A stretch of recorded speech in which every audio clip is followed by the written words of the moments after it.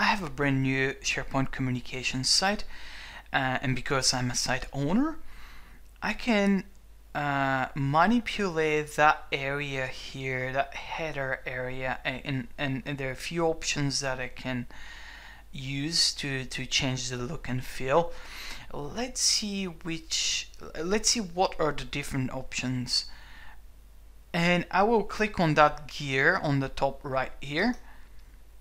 And I'm seeing all these different menus because I'm site owner. So the way to change that header uh, area here is by accessing change the look then header then I have different options and let's let's see how it will look if I say standard nothing has changed here but if I say compact we will see a change here where uh, the title goes next to the picture instead of oh yeah the title is still next to the picture but the navigation goes next to the title and the standard look is just below the title.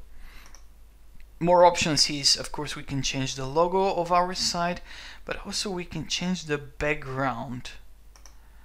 And we can make it the same as the top bar or just in a different colors. Those colors are depending on the theme, on the theme.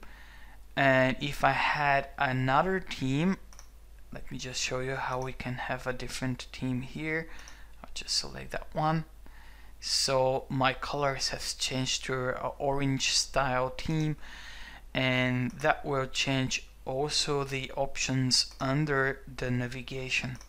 So uh, sorry under the header. So I have instead of a blue color now I have an orange color and I can put it on top.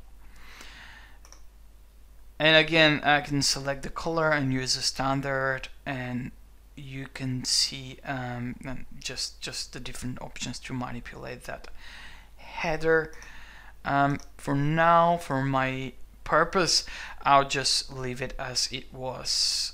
So something else to mention is that if you're not seeing the change the look here you might not be using the right template for your site. And there uh, currently I think there are two templates.